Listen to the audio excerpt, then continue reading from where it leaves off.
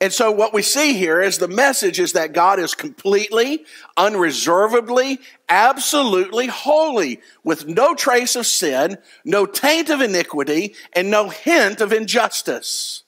Now we could go a long way and, you know, if you, depending on who you're with, you might get in a fist fight over that last word, but understand this, that God's essence is justice. We must be very careful how man defines justice in light of God's justice.